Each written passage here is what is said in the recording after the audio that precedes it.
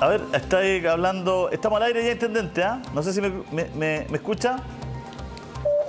Ahí estamos, Ahora sí, intendente. estaba hablando con el, con Lo- el ministro del Interior, estaba.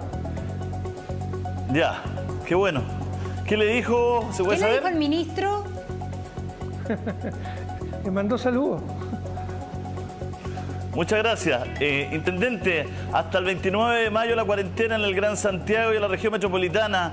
Vamos a aguantar. Tenemos en un recuadro a la Pintana, la gente protestando. ¿Está preparado el gobierno, está preparando, preparado el Estado para eh, otorgar una cuarentena y también ir en ayuda social?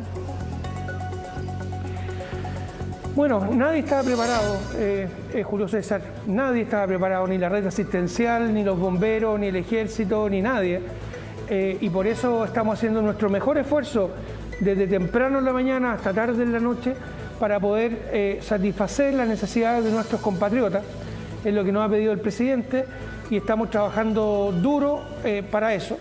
Ahora en unos minutos tengo una reunión con el ministro del Interior y con todos los alcaldes de manera de coordinar eh, este proceso de entrega de mercadería, de canasta de mercadería a las comunas más vulnerables primero eh, y, y a las personas más vulnerables dentro de esas comunas. Así que se nos viene una tarea titánica. Nunca antes en la historia de Chile se ha desplegado una logística como lo que vamos a hacer aquí para poder ir en ayuda de más de 6 millones de personas de Santiago. Monse. Eh, eh, sí, eh, eh, intendente. A ver, aquí estamos viendo imágenes de lo que está ocurriendo en este minuto en La Pintana, donde hay una manifestación, hay que decirlo, pacífica, donde la gente está pidiendo atención de salud justamente a los enfermos eh, eh, de COVID que están en sus casas y que tienen que mantenerse en sus casas porque esa ha sido la instrucción, pero que también están pidiendo alimentos y ayuda material. El gobierno aquí está en un problema. Por un lado está, hay personas que están saliendo a manifestarse y por lo tanto no se mantiene la distancia social ni las reglas de la cuarentena, pero también existe hambre y carencia. ¿Cómo va a ir solucionando el gobierno? Usted es intendente encargado del orden también de la seguridad junto con el Ministerio del Interior. ¿Cómo van a ir manejando finalmente estas manifestaciones sociales populares con las necesidades materiales y con las necesidades de guardar una cuarentena? Usted tiene razón, Monse. Eh, aquí hay, hay dos situaciones que son distintas. Hay personas que lo están pasando muy mal, que están pasando hambre. Los municipios están haciendo un esfuerzo muy importante. Ese esfuerzo no alcanza, dado el aumento de la pandemia, y entonces va a entrar el Estado eh, a cubrir una necesidad de alimentación eh, eh, tan importante como esta. Y eso lo, lo entiendo, empatizo, me pongo en el lugar, he estado en esos lugares y por lo tanto entiendo perfectamente bien y por eso el presidente ha decidido impulsar la campaña de entrega de alimentos más grande de la historia de Chile. Dicho eso, hay que también reconocer que hay gente que abusa. O sea, ¿qué tiene que ver el no más AFP con el hambre? ¿O qué tiene que ver el, el- cosas que se, que, que se dicen o que se han hecho en la Plaza Italia, volveremos y no sé qué cosa con el hambre? Entonces, yo trataría de separar Tiene la que ver, pues, problemática social, económica, que la vamos a abordar con Intendente. el, el abusar, el intentar instrumentalizar políticamente una Intendente, situación muy compleja y delicada que nos afecta como gobierno y nos afecta como sociedad. Intendente, me permite, tiene que ver, pues, porque una cosa es llegar con una caja de alimentos y otra cosa es que la gente ve como una alternativa, como una alternativa, ¿no es cierto? Muchas propuestas que incluso han hecho parlamentarios, senadores y también diputados, que es de sacar un poco de lo que tienen en la AFP para poder subsistir unos meses, lo que se está haciendo en Perú desde ayer, se está sacando el 25% de la AFP como préstamo. Entonces tiene que ver porque la gente va mezclando, porque al sentir la necesidad dice, si yo tengo efectivo, ¿no es cierto? O tengo dinero eh, en, en- eh, en- en la AFP, ¿no es cierto? ¿Por qué la AFP pierde la plata en la bolsa o pierde la plata donde la están poniendo y no me la pasan a mí en un préstamo? Entonces por eso tiene, por eso las cosas se mezclan. Yo le estoy dando la explicación de por qué están esos letreros y van a estar en todos lados. Me imagino que usted la entiende. Lo que, lo que sería bueno transmitir, Julio César, es que si hoy día las jubilaciones eh, en, el, país son insuficientes y por eso el Congreso y el presidente de la República han ido impulsando proyectos de ley para mejorar las pensiones, es un despropósito sostener que alguien pueda sacar la plata de las pensiones. Porque si hoy día es baja la pensión, imagínese si usted saca la plata la pensión va a ser aún más baja. Por lo tanto, hay que explicar hoy día, como eh, eh, pedagógicamente que ese fondo, ese fondo no es del Estado, ese fondo es para cada uno de los chilenos que, se, que mes a mes ahorran para cuando estén jubilados. Si se comen el ahorro ahora, cuando estén jubilados, entonces la situación va a ser aún más dramática. Entonces, no. Es que hay muchas capas que no le ha llegado la, ayuda, intendente. Intendente, hay muchas capas medias que no le ha llegado tampoco ayuda. Hay muchas personas que no tienen ayuda por ningún lado. Entonces la FP se ve como, o esos dineros, o un porcentaje de esos dineros, un préstamo de esos dineros se ve como una alternativa sin tener que desangrar al Estado. Porque son platas personales, son ahorros personales. Entonces, por, e, por, eso yo le estoy explicando por qué está el letrero. Cada uno pensará como quiere, estoy explicando, y, yo le estoy explicando, Julio César, a los televidentes por qué no es lógico desangrar a esa familia. Si finalmente las pensiones, cuando son bajas, la a quien destruyen es a la familia porque terminan los hijos manteniendo a los, a los padres o a los abuelos y por lo tanto una mala jubilación afecta a todo el grupo familiar, no solamente al jubilado. Entonces todo lo que sea cuidar las pensiones es un esfuerzo que vale la pena hacer. Ah, bueno, hay, diferentes opiniones respecto al tema de la AFP, pero como una de sus funciones, intendente, es materializar la entrega de ayuda alimentaria, eh, ¿No cree que aquí finalmente el gobierno improvisó este tema? Eh, el anuncio del presidente Sebastián Piñera es el día domingo y el día lunes la verdad es que ningún alcalde, ninguna autoridad del Ejecutivo sabía ni cómo ni cuándo se iba a materializar manifestaciones en el bosque pidiendo alimentación y al mediodía el presidente diciendo que iban a ver cuáles eran las mejores ofertas, que los alimentos se comprarían a granel. Eh, finalmente esto nos da cuenta de un anuncio, pero un anuncio que no tenía ninguna bajada de cómo se iba a implementar. ¿No cree que finalmente esto deja mal al propio gobierno en este, en este eh, anuncio pensando en que no lo tenía determinado cómo lo iba a materializar? Monse, yo creo que es todo lo contrario y, quizás tengo una visión distinta porque estoy al otro lado de la, mesa, ¿no?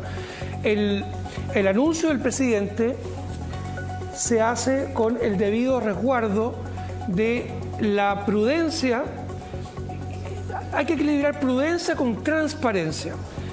Eh, eh, eh, ¿Por qué es importante anunciarlo antes?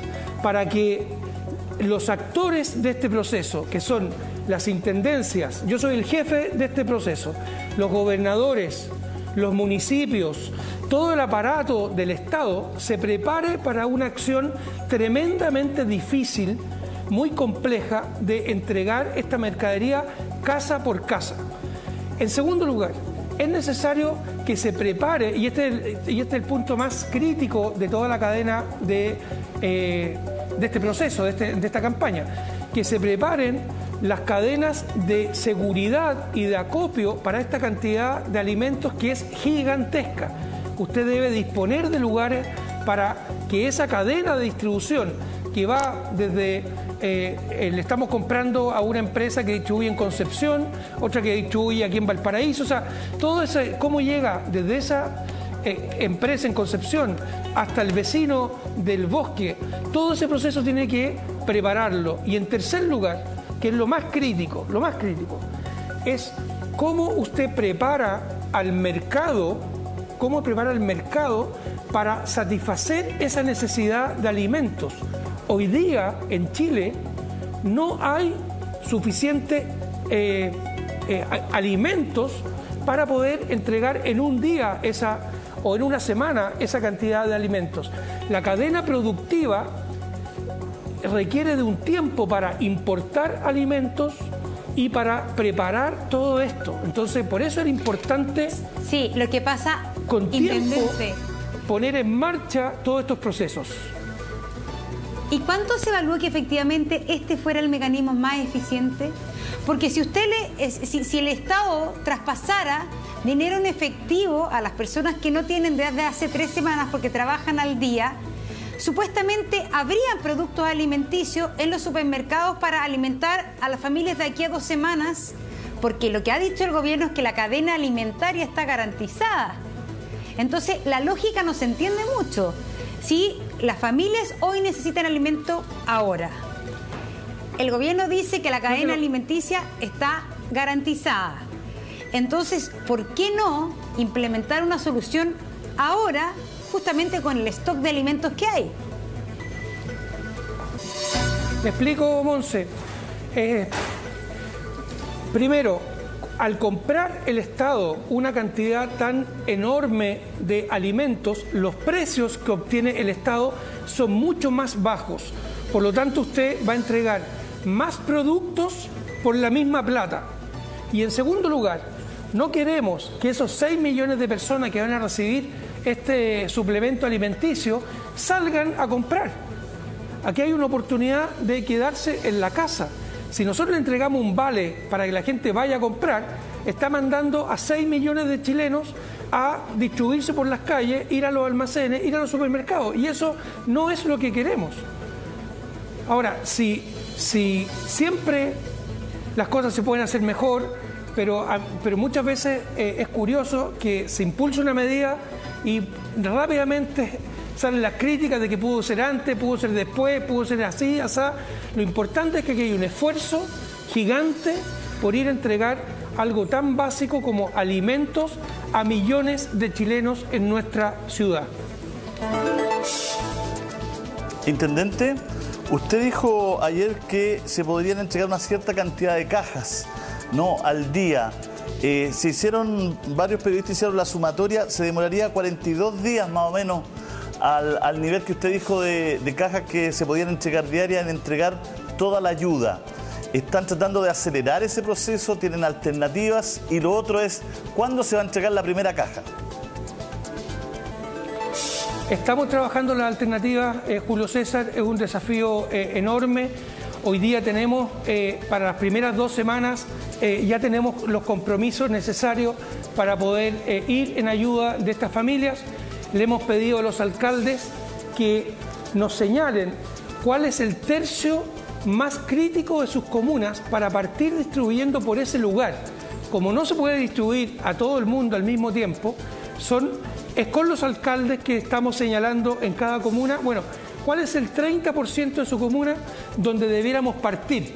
Y estas dos semanas nos vamos a concentrar en ese tercio, para después de eso ir en ayuda del el resto. Ha sido y está siendo un desafío muy importante, eh, Julio César, y, le agradezco la pregunta porque hay personas que podrían pensar que esto va a pasar de un día para otro y eso no va a ser así. Hay un esfuerzo de distribución muy, muy importante.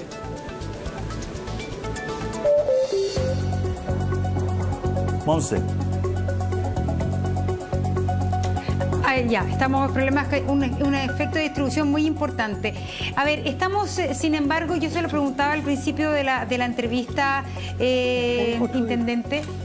Respecto a las manifestaciones, ayer en nuestro programa el eh, presidente de Renovación Nacional dijo que no se puede reprimir el hambre a palos rechazando entonces la intervención de carabineros en la comuna del Bosque.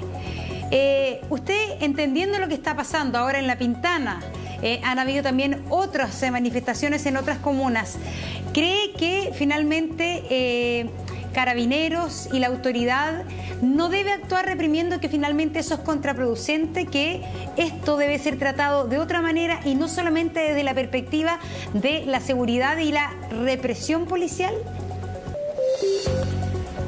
Sí, eh, Monse, lo que no debiera estar eh, pasando es que personas que están en cuarentena se reúnan muchas veces sin mascarilla, sin distanciamiento social alguno, a, a lo que sea en la calle, porque se están arriesgando a ser contagiados y finalmente están arriesgando su vida. Entonces, si el, municipio se ha comprometido, el gobierno se ha comprometido, hoy día le transferimos a los municipios de todo Chile una cantidad eh, muy importante de recursos para ir justamente en ayuda. Eh, yo les pido paciencia, les pido calma, el, el proceso ya comenzó y vamos a eh, partir este fin de semana, que eh, se me había quedado en el tintero la pregunta de Julio César, este fin de semana vamos a repartir con la entrega de las primeras canastas eh, alimenticias. Yo les quiero pedir disculpas. Sí, pero una, pregunta. Intendente, ¿usted cree, tengo, eh, porque hay muchas de parte del, gobierno y de ciertos sectores que eh, señalan que estas manifestaciones, y se lo pregunto sinceramente, eh, son un escenario de aprovechamiento político de ciertos grupos activistas y que quizás la necesidad y el hambre todavía no es tan perentoria y que se está haciendo aprovechamiento político, utilización por parte de ciertos grupos de esta situación. ¿Qué opina usted? Primero, Monse, me tengo que ir. Tengo hace 15 minutos a todos los alcaldes esperando en una reunión virtual. Pero efectivamente, si uno ve las redes sociales de los, de los parlamentarios del Frente Amplio o incluso el Partido Comunista, hay un claro intento por aprovechar políticamente esto que yo al menos condeno. No es justo, no es justo aprovecharse políticamente de la debilidad humana, de los problemas que estamos pasando, pero si quiere continuamos mañana conversando, Monse, tengo que ir volando a la reunión con, con los alcaldes.